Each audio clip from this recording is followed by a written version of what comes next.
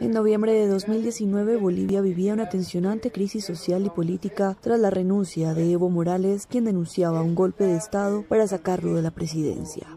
Aunque fue el 19 de noviembre en Sencata, la ciudad del Alto, el día que murieron alrededor de 10 personas y otras 30 resultaron heridas en la operación llevada a cabo entre la policía y los militares para controlar el bloqueo de una planta de almacenaje de combustible, este no fue el único día que hubo víctimas.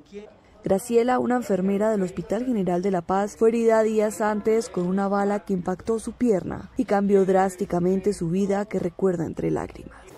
Desde ahí mi vida ha sido truncada en todo sentido. Graciela no había tenido la oportunidad de conocer a las otras víctimas de estos oscuros días. Hoy, un año después, se encuentra con los familiares de otras víctimas y se reúnen alrededor de la tragedia que pasó.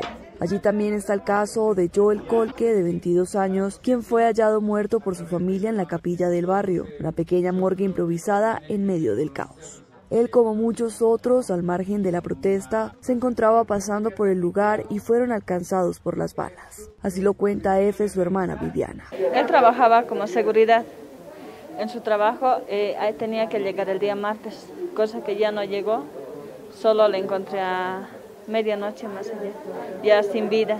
La Fiscalía, por su parte, abrió un proceso de investigación de oficio y solamente por las muertes y heridos del 19 de noviembre. Fue solo hasta hace dos semanas donde se han vuelto a hacer gestiones para que las víctimas presenten su declaración informativa.